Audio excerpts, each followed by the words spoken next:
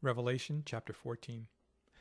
Then I looked, and behold, a lamb standing on Mount Zion, and with him 144,000, having his Father's name written on their foreheads.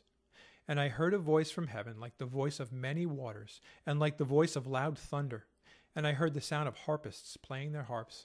They sang, as it were, a new song before the throne, before the four living creatures and the elders, and no one could learn that song except the 144,000 who were redeemed from the earth.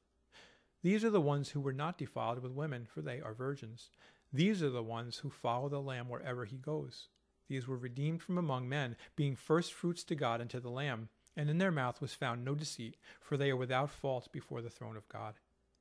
Then I saw another angel flying in the midst of heaven, having the everlasting gospel to preach to those who dwell on the earth, to every nation, tribe, tongue, and people, saying with a loud voice, Fear God and give glory to him for the hour of his judgment has come, and worship him who made heaven and earth, the sea, and springs of water.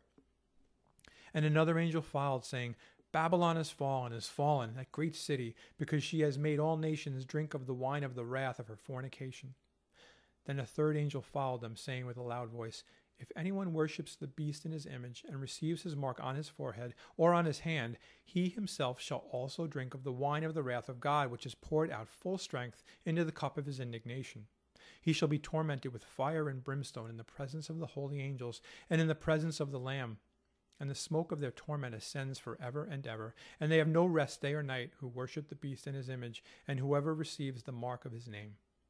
Here is the patience of the saints. Here are those who keep the commandments of God and the faith of Jesus. Then I heard a voice from heaven saying to me, Write, Blessed are the dead who die in the Lord from now on. Yes, says the Spirit, that they may rest from their labors and their works follow them. Then I looked, and behold, a white cloud, and on the cloud sat one like the Son of Man, having on his head a golden crown, and in his hand a sharp sickle. And another angel came out of the temple, crying with a loud voice to him who sat on the cloud, Thrust in your sickle and reap, for the time has come for you to reap, for the harvest of the earth is ripe. So he who sat on the cloud thrust in his sickle on the earth, and the earth was reaped. Then another angel came out of the temple which is in heaven, he also having a sharp sickle.